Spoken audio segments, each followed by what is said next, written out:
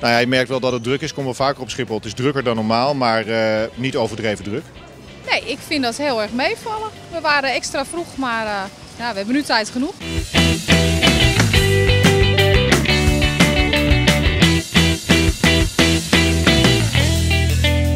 Nou, normaal zit ik bij, bij Schiphol Parking, maar op dit moment sta ik uh, hier in Lounge 3.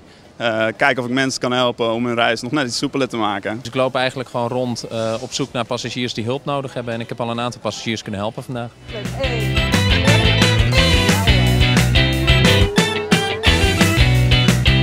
We zien wel extra mensen rondlopen. En daardoor merk je alles, weet je, het loopt gewoon soepeler door. En dat is best wel prettig voor ons.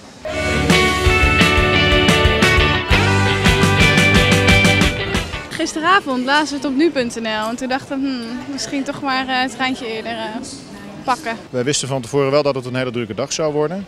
Uh, en daarom zijn we hier ook niet met de auto, maar met de trein. En ook dat ging erg voorspoedig, dus snel ingecheckt, vrij vroeg aanwezig. Houdt er een beetje rekening mee.